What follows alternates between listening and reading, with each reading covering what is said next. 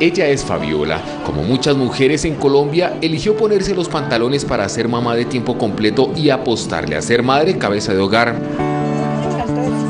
Hace varios años esta mujer decidió separarse de su esposo y desde entonces ha luchado inalcanzablemente por llevar el dinero a su casa para que a sus hijos no les falte la comida. Soy separada y me ha tocado sola y tengo, tengo mi casita y a, repartiendo tinto.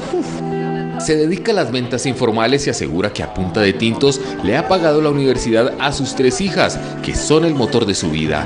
Tengo tres hijas y en el cual pues ya Lorena y Xiomara ya son auxiliares, auxiliares de enfermería y Geraldine ya la menor. Ya me sale este año como psicóloga con el poder de Dios.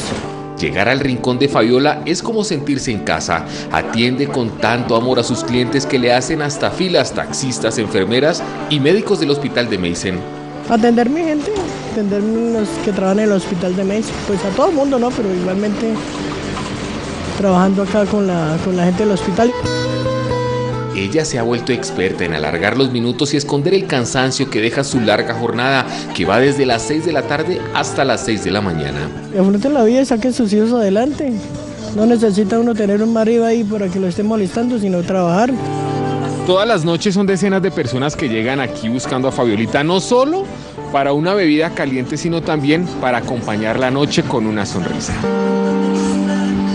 Aunque no fue fácil entrevistarla por su timidez, esta mujer hoy es un ejemplo de vida por el empuje y las ganas de sacar a sus hijas adelante.